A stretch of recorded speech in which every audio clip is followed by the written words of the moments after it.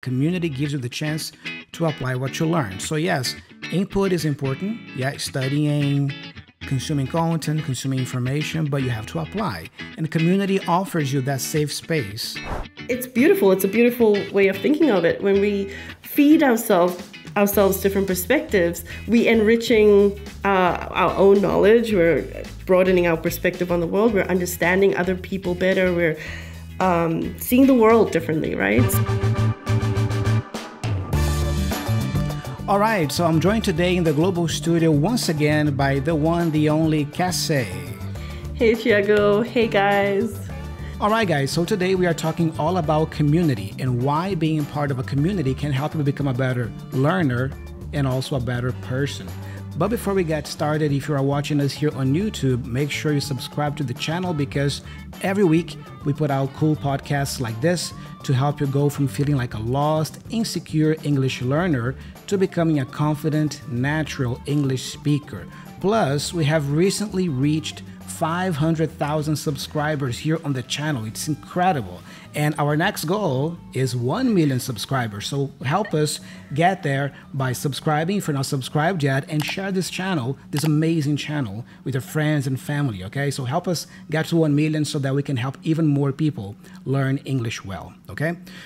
So, guys, uh, let's get started here. And Cassie, I guess it's, it's good to define community first. What do we mean by community? Well, a community is generally a group of people who share the same space. So this could be physically or virtually, and they sort of come together for a common goal or common purpose. Either they live together or they come together, you know, to share ideas, experiences or you know, resources of some kind. So, a community would be a group of people coming together with sort of a common interest or a common goal. Mm-hmm. Yeah, that's a great definition. Uh, do you have any examples, by the way, to give? Sure. Uh, a community could be a group of friends who, hmm. You know, enjoy the same things and they come together to, you know, enjoy activities together like sport or, you know, movies or just other things they have in common. It could be that you you all love dancing or you all are English learners and you come together to to talk about that or to relate to one another on that topic or mm-hmm. because of the interest that you share. By the way, I love the way you said dancing. Can you say that again? Dancing. Dancing. Wow. Is that correct? How I mean my pronunciation dancing. Is that it? yes. Yeah, I like that. Yeah. Dancing. It's a, it's a different way of saying dancing. Yeah. Sorry for laughing. Yes, it is.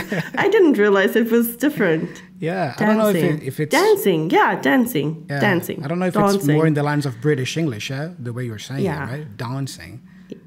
But yeah, yeah I, I mean, uh, I had to point that out because when you said that, it was like, oh, wow, look at that. That's cool. That's cool. So another example I can give here is a school network. So if you study at a school or if you take any kind of course, the people you study with, the people that go to the same school that you go to, uh, that could be considered a community as well.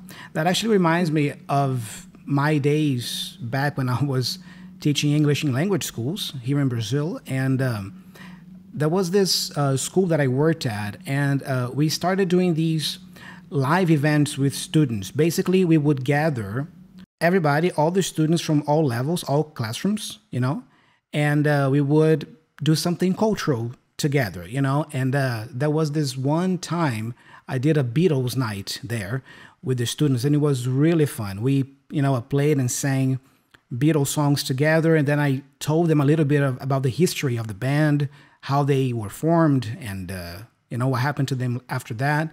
So yeah, I mean uh, that was a, a, great example. As a matter of fact, I do have a, a short footage of that day. So Thiago, if you could briefly play for us That'd be cool. Yeah, just to show you, can say how it went. Yeah, it was really cool. Check it out. Oh. Well, shake it up, baby, now. Shake it up, baby. Twist and shout. Twist and shout. Come on, come on, come on, come on now, baby, now. Come on, baby. Come on, work it on now. Work it on now. that was cool. Yeah, that was a, a great night. And I think that was the first time we did something like that mm. and uh, the school started doing these events more and more. And uh, nowadays, I think they're still doing it with other teachers. You know, it kind of caught on. But yeah, that was a great example of a school network community that you can have there. Yeah. Yeah. And what I love most about it is that, like, yes, they're all English learners, Mm-hmm. But the purpose is greater than that, and that's the point we're making today, right? Like they're they're not sitting there with their notebooks and pens, like you know, writing down the your the instructions you're giving them. They're literally like enjoying. They're in the moment, repeating, and they're singing along. I love that. It's it's creative and it's fun. Yeah, it's definitely a way of living your English. Yeah, you just. Um, just live it. Yeah, just enjoy it. Another example of community we can give here is meetup events. So maybe language exchange programs, you know, maybe you go to another country to study there for a while and then you meet other students or other people there. That could be part of a community. That could be an example of community. Uh, even the events that uh, Real Life English used to do back in the day, many years ago, uh, Real Life English used to host or hold these uh, personal in-person events where, you know, teachers, learners, they would get together at a bar, for example, and just enjoy uh, being together, practicing their English, maybe having a few drinks. Yeah, so yeah. that's another example that comes to mind. Yeah. What else would you give here, Cassie?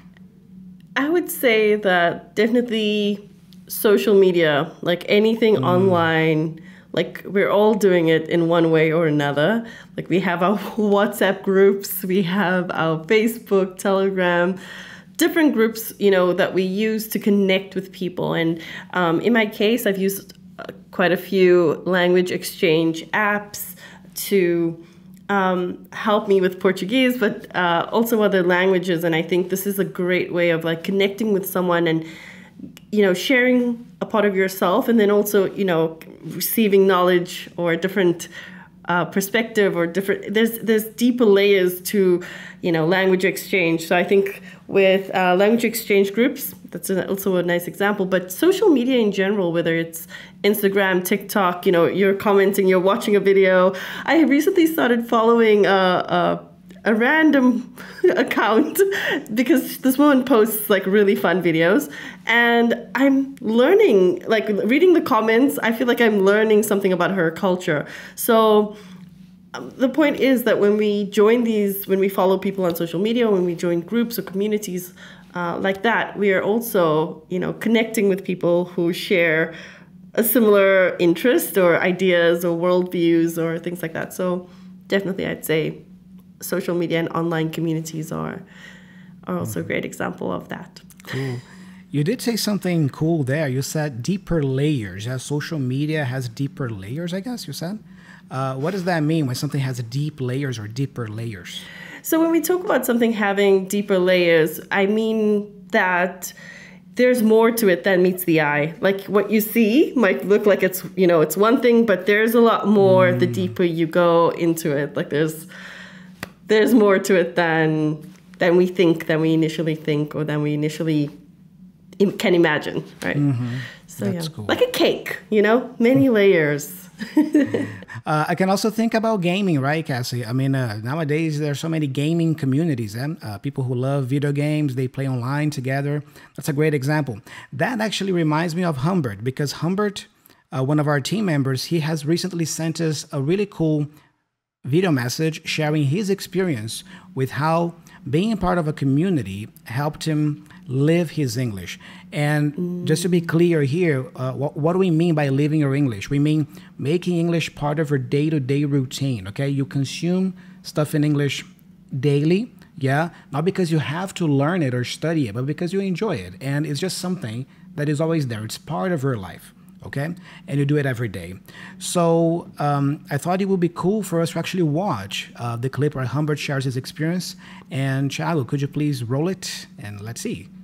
Okay, so for me, community was really important in several aspects of my life, but uh, certain, certainly the most important one I think is that uh, you as a creative, me as a creative, uh, if you're a creative person, you need to feed yourself with different perspectives. Like um, the more perspectives you know, the more experiences that you can hear from people that come from very different places in the world will benefit you and will nurture your way of seeing things, the way you feel things, the way you create your own ideas, the way you create your own uh, position and point of view about things. So that definitely for me was one of the biggest things when it comes to community. Mm, I I absolutely love what he's saying because I love the point he's making about how community helps you develop basically broaden your perspective on the world because he uses he says it really beautifully. He says, feed yourself different perspectives. So what do we do when we feed when we, we're feeding? We literally have to take something. It's an action, taking something and putting it into your body. Now think of that with like someone else's perspective. You're going, okay, I hear what you're saying. Oh, I read this book. I like what he's saying. I'm watching a TED talk. I like what this. So I'm taking that and I'm putting it in to my taking it into myself and it's beautiful. It's a beautiful way of thinking of it. When we feed ourselves ourselves different perspectives, we enriching uh, our own knowledge. We're broadening our perspective on the world. We're understanding other people better. We're um, seeing the world differently, right? So I think that's really absolutely true. And he also used a nice word there. He said nur- He said nurture. Yeah. What does it mean to nurture? You nurture something. Yeah, so to nurture means to care for or develop encourage the growth or development of something or someone. So we can nurture our children by you know making sure that they go to school that they're fed and cared for. Um, we can nurture our minds as well our, our our thoughts by you know feeding ourselves the right uh, things or exposing our, ourselves to to people and things that are good for us, that make us feel good and that help us develop in life. Yeah. Thank you so much, Humbert, for sending your message and sharing your experience with us. That was amazing. Uh, just a quick reminder here uh, for you, in case you are watching us here on YouTube or listening to us on Apple Podcasts, Spotify, or any other place, we highly recommend you download the Real Life English app. Okay, why? Because you can listen to our podcast, to this podcast right now, uh, with an interactive uh, transcript, you know? So it's really cool. Yeah, if you want to follow along what we are saying, yeah, make sure you download it. It's free. I'm going to leave the link in the description here if you're watching us on YouTube, or just go to your favorite app store, all right? Google Play Store or Apple App Store and search for Real Life English, all right? Now, moving on, Cassie, um, we also got a couple of nice messages from mm. some of our students. Uh, Marco and Elena, they sent us some. Um, yeah, they sent us an audio message also sharing their experience with community and why it is important to them. So, starting with Marco's message here, let's listen to what he has to say about that topic. Hi, guys. I think that there are many ways in which um, community has helped me on uh, improving English. I think, first of all, it's because, I mean, at the end of the day, like English, it's just language. So, the mean the usefulness of a language is like to communicate. So i think that it would be like mm, useful useless or uh, in vain if you learn a, language without using to communicate with other people. So that's really useful having a community on which you can uh, practice and improve improve your usage of the language. Biggest uh, help from uh, at community level was uh, like from the real life fluency circle I've been here since uh, July 2018 and it's uh, really great because I can practice English uh, on a day-to-day life. I mean nowadays I'm living in Australia but even when I was for instance in Italy I wouldn't have had the opportunity to practice English on a daily basis without uh, this community. Aside from that I also participate on um, other kind of meetings. When whenever i travel i use uh, an app called meetup which is really useful. It's really widespread. You can find in almost every country and you can meet uh, people from different kind of events. I go to stuff like uh, lang- language exchange and uh, or sport activities like playing football go for a hike or um, co-running. So it also helped me on uh, practice my English and uh, connect with uh, like-minded people. So, Cassie, one thing that stood out to me about Marco's message was the part when he says that community gives you the chance to practice your English every day. And that's true. Yeah, if you are part of a group, you can always, you know, send the messages, maybe uh, jump on a call with the people there and practice your English every day about whatever topic you're interested in. What about you? What caught your attention the most about his message? I think what I liked most about his message is when he talks about, you know, having the opportunity to connect with like minded people.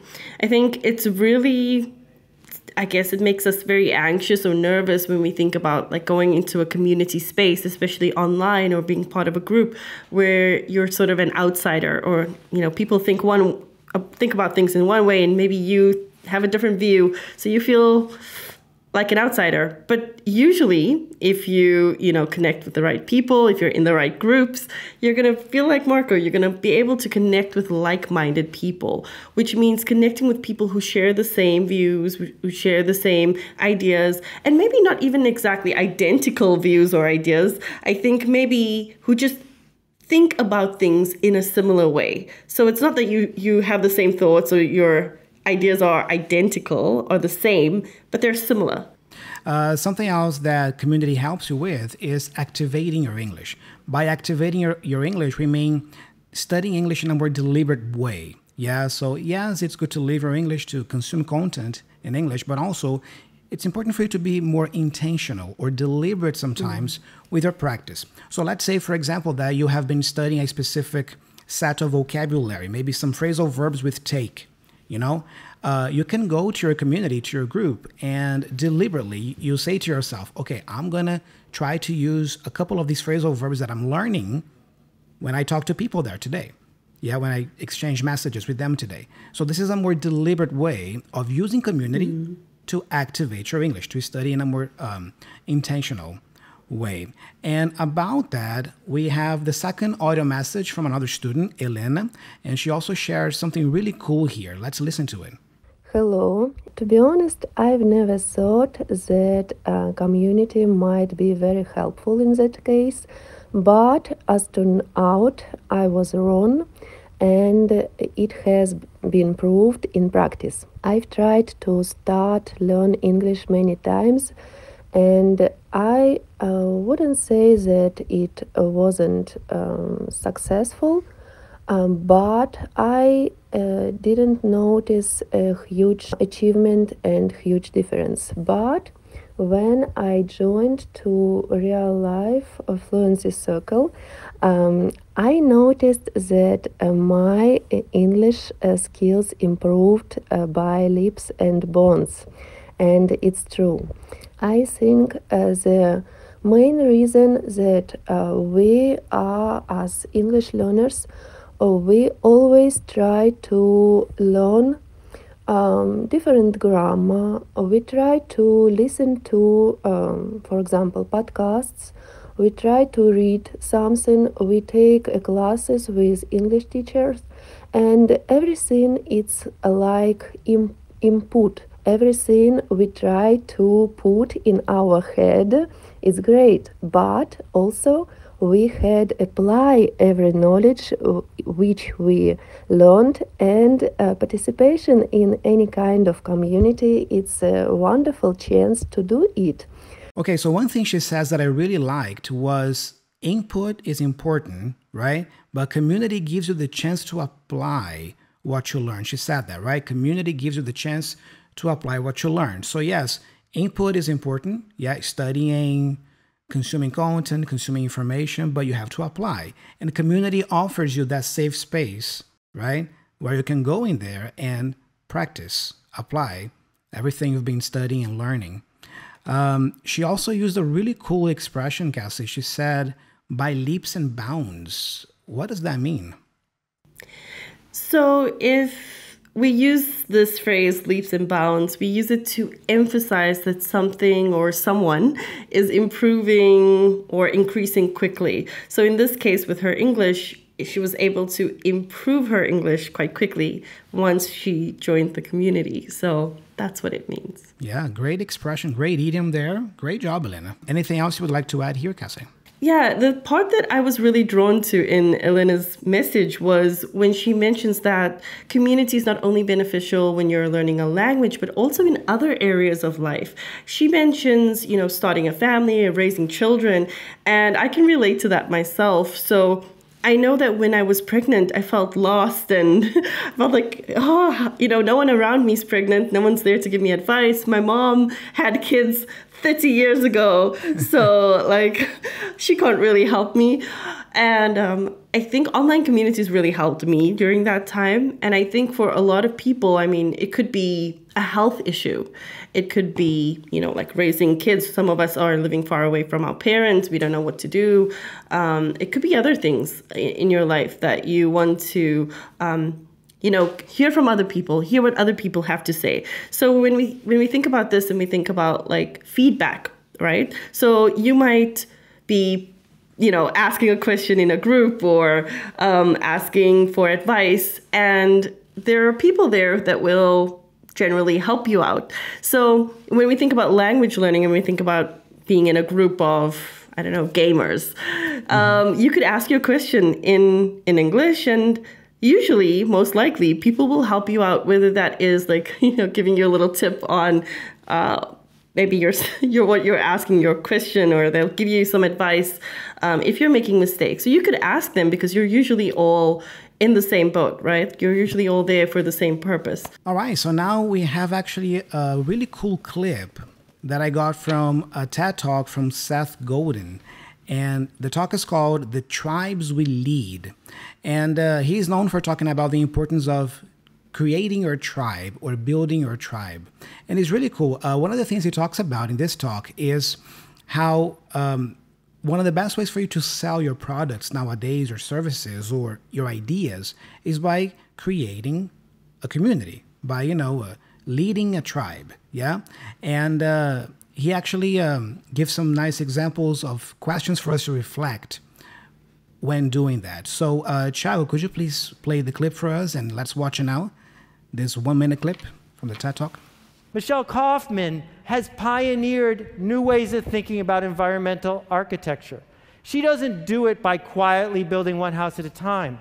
She does it by telling a story to people who want to hear it by connecting a tribe of people who are desperate to be connected to each other, by leading a movement and making change. And around and around and around it goes. So, three questions I'd offer you. The first one is who exactly are you upsetting? Because if you're not upsetting anyone, you're not changing the status quo. The second question is who are you connecting? Because for a lot of people, that's what they're in it for the connections that are being made one to the other. And the third one is who are you leading? Because focusing on that part of it, not the mechanics of what you're building, but the who and the leading part is where change comes. Yeah, that was cool. Any thoughts, Cassie? Yeah, I think that when we think about like the power of community, when we think about how much further ideas or I mean, of course in business that's an obvious thought that one would have. The more people you have um, talking about your brand or about what you're doing obviously the further and the bigger your business is going to expand. But i think about like concepts. I mean we we live in a world where like everything moves fast and i think it's the same when we think about like um, tribes and communities. If you're if you're together you're so much stronger when you're when you're united you know? And he used some nice vocab here like pioneer for example. When someone is a pioneer or to pioneer something what's that? Mm-hmm. so if you're a pioneer you're among the first to do something. So if you're a pioneer in the food industry maybe you created or developed something unique that hasn't been invented yet uh, in that particular industry. So yeah, a Pioneer would be among the first to invent or do mm-hmm. something. The first question he asks is really cool. Who are you upsetting? Yeah, you should ask mm. yourself that. Who are you upsetting? Uh, what does that mean to upset? So, if you upset someone, you're causing them to worry or be unhappy. Um, and if I connect that with your previous question about pioneering, I think when you're pioneering, you're breaking those boundaries, right? Because you're no one has done this before. So, you're bound to upset someone, you're bound to disrupt the current way that things are done or the way that people think about things. And we can connect that with something else he says, which is cha- changing the status quo. Yeah, so the status quo is uh, the way things are, you know, the way people think that things work, and, you know, oh, it's always been like that, so let's keep doing it like that. Like you don't question the things that you do every day. Yeah, so what he's proposing here is for you to change or to challenge the status quo. Like, okay, we do it like we do it this way, but why? Isn't there a better way to do it? This is changing or challenging the status quo. And when you do that, you upset people. Some people. It's inevitable. True. Right? Some Absolutely. people will not be open to this change, let's say. Speaking of challenging the status quo, yeah, you know, uh, I think we could bust some myths here about English learning also, because some beliefs that people have, or some uh, things that people say sometimes, eh? you gotta live abroad to learn English. Well, that's not true because, you know, I am living proof of that, guys. You know, I've never been abroad and I speak English, you know, so that's not true. Second point that I hear all the time you gotta spend a lot of money to learn English. That's not true either. I mean, there's so many cool resources nowadays for free that you can actually use to learn the language. I mean, you don't have to. And you gotta know people who speak English in order for you to, you know, uh, become a, an English speaker. Not necessarily. Yeah, because, you know, again, going back to the resources that we are talking about, because of technology, let's take the app, for example, the Real Life English app, which is really cool because, first of all, the app is free. You know, it's free to download. You can download it. You can try it out already and see, uh, try some of the features there. And with our app, you can also speak English with people from all over the world. At the touch of a button, you can connect with someone there and have a four to eight minute conversation with that person. So, you know, uh, these beliefs, you know, they don't really apply anymore nowadays because we have so many cool resources like the app. Speaking of the app, we have a cool shout out here from one of our app users. All right, so this shout out goes to Muhammad, who says, I absolutely love the Real Life English app. As someone who's been learning English as a second language for a while, I've tried a lot of different apps and methods, but this one stands out. The live speaking feature on the Real Life English app is simply amazing. It's a fantastic way to practice speaking with other learners and native speakers of English from around the world. Overall, I would highly recommend the Real Life English app to anyone looking to improve their English skills. It's a comprehensive, effective, and enjoyable way to learn, and the community aspect makes it feel like a true collaborative and supportive experience. Oh, yeah. Amazing, Mohammed. Thank you so much. All right. Thank you so much, Mohammed, for the amazing shout out. And if you want us to shout you out next time, uh, make sure you leave us a five star review on Apple Podcasts, or you can just write us an email at hello at reallifeglobal.com. All right. Gotta say, we also have a great YouTube comment here to read from one of our viewers here on YouTube. Could you read that one? Yeah, this comment is from Roger Sabino, who says, I have been learning a lot from you guys. I'm from Brazil, and in the next week, I'm going to start a new position in my job because I had a job interview in English. And guess what? I did it. Thank you so much, guys, for sharing all your knowledge. Wow, amazing. Congratulations, Roger. That's fantastic. Really, Congratulations, really. Well man. Uh, good luck. Best of luck at your new job. Yeah. And thank you for leaving us a comment here on YouTube. All right, Kase. So now on to the last segment, talking about connecting your English. Now, what comes to your mind when you think of connecting your English? So when I think about connecting my English, I think about my why you know the principal reason that i started studying or that you know sort of drives me to perform all the different actions. Why, you know, it's the thing that makes me want to join that group uh, on on Telegram or on you know language exchange app. I, I want to be part of something, but there's a why, there's a reason, and I think that's what I I think is is quite essential, right? You know, understanding that motivation, understanding what it is that fuels you to keep learning and to keep pushing and to keep going. If you think about it and if you keep you know that in mind if you keep that at sort of the core of like your your day and your actions and your plans then i think it makes it easier it makes it easier to feel courageous in those moments you know when you're you're wondering should i you know speak to this stranger should i join that group and something else that comes to mind when we talk about connecting your english is connecting it to your identity to who you are today and also to who you envision yourself in the future. Uh, part of that is connecting your English to your interests. So, whatever your interests are, the topics, the media that you like to consume, you do those things in English. And uh, when I think about that, that actually reminded me of Ksenia, because you know, Ksenia is another team member here at Real Life English, and um, we have the Fluency Circle group, which is our group of students where you know they have a lot of cool activities there, you know, and quizzes, and they share stuff together. And uh, now Ksenia actually has sent us a short video message talking a little bit about how the Fluency Circle community helps people, the members there, connect their English to something bigger than themselves. I think, Asa, you touched on that earlier in the episode, yeah, about connecting your English to something bigger.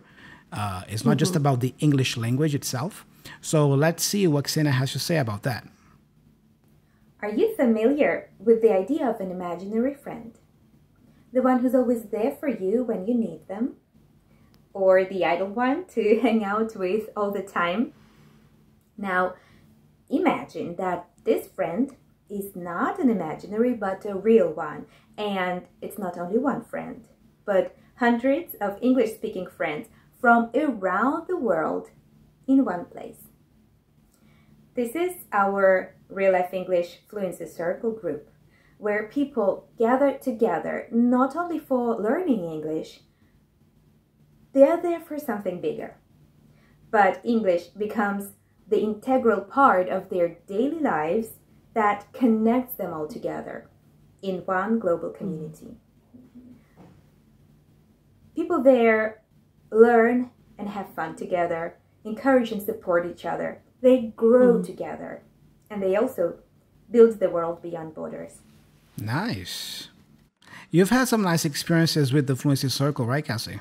Yeah, but before I talk about that, I want to say that Ksenia did such a beautiful job, like with the storytelling there. You know, mm-hmm. she painted a beautiful picture where we are like, oh, intriguing. Right? Where's this going? this imaginary friend. Yeah, um, it's a good copyright. Yeah, it is excellent.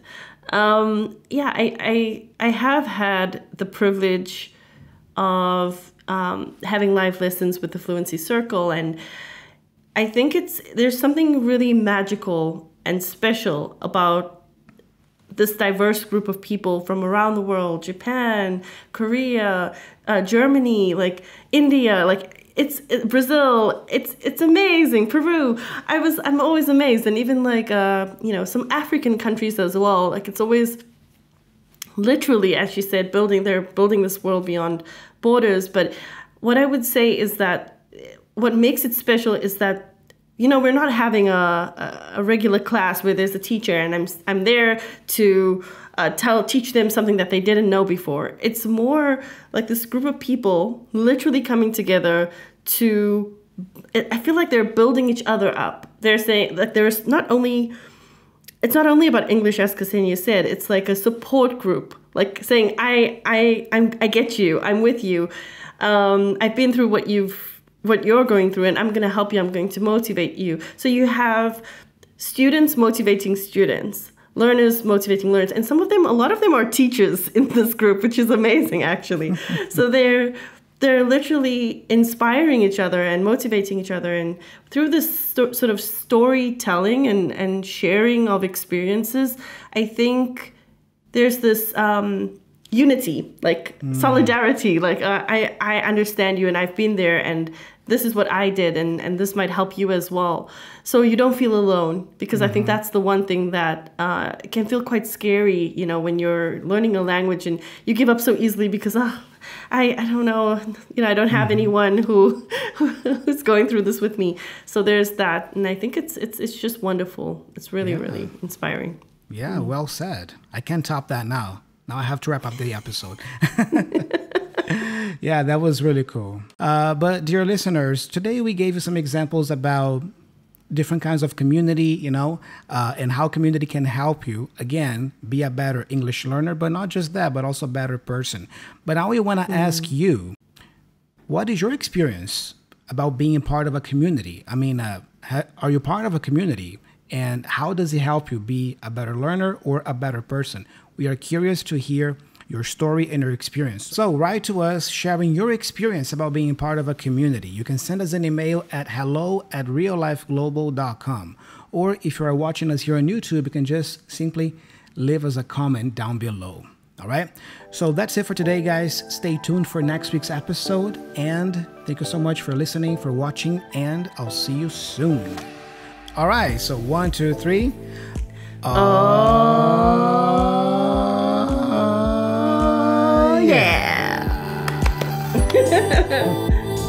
we are talking about how the generative AI technologies like ChatGPT, DALL-E, Bing AI, you might have heard some of these different names thrown around lately because they're taking the world by storm. And so in today's podcast, we want to talk all about whether you can use these tools to improve your English if they're good for language learning. And if you're an English teacher, is it something that you should be worried about it? Are you going to, you know, lose your job to artificial intelligence? And we're going to, you know, answer those questions more. We're going to even talk about whether a Terminator type situation is something that could be probable and exercises that you can use to improve your English with artificial intelligence and so much more. So let's get right to it.